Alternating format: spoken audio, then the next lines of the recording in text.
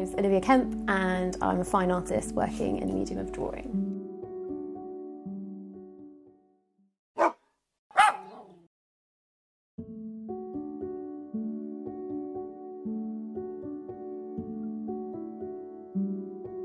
So detail is sort of um, one of those things that people pick up on a lot in the work, but for me, it's not so much the point. It's just something that's happened over time. Draw- with my confidence in drawing and drawing more from observation, I felt more able to put more and more and more into the drawings.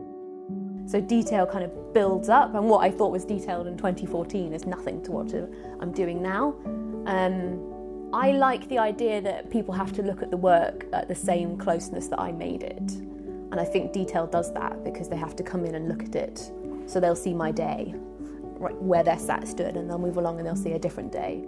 But I also think detail is like a wonderful trick you can play because people mistake detail and accuracy. And if you do something imagined that's very detailed, like I've literally had people say, like the drawing I did of a forest of tree houses, people say, "Oh, is that a real place?" And you're like, really? I mean, none of this would work. It's really architecturally unsound. This is Bramble. She's like my little sidekick. She always comes up to the studio and plonks down on her pillow and is like, she's a proper studio dog.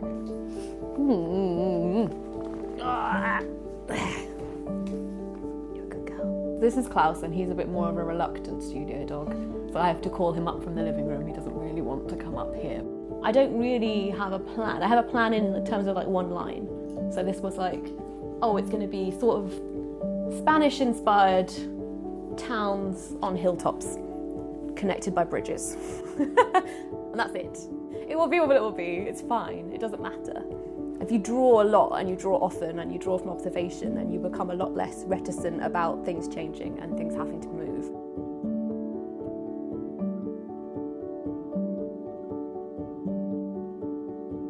Started drawing in pen because I was lazy with other mediums and would just like get everything wrong and get the same with paint. You can't get a hard line and you can't define something quite as clearly or quite as easily. So then I started working in permanent mediums for that reason and working on with landscape drawing. I think just because I had never drawn a tree, so it just became a, like a sort of challenge.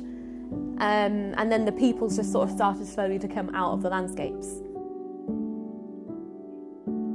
Everything in my work has kind of just evolved slowly because I make a lot of work that takes a long time to do.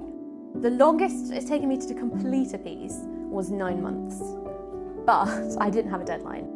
Realistically, the longest I've consistently worked on a piece in studio is probably more like four months. I think there's a lot of challenges starting out as an artist. I think it's like knowing what the hell to do when you get out of art school because you've been in that environment where to some degree everything has been laid out for you and then you get out of art school and a lot of people then stop for a while and they're like oh I want to take a break. I think that's almost a bit dangerous. Some people have to and I get that you know because art school can be really exhausting and just you know you might be just out of steam. But the downside of that is it's really hard to get going again with your work and then also as a recent graduate you get a lot of opportunities that you don't get as an established artist. So it's a really good time to keep going and to start putting out applications and to put your head above the parapet.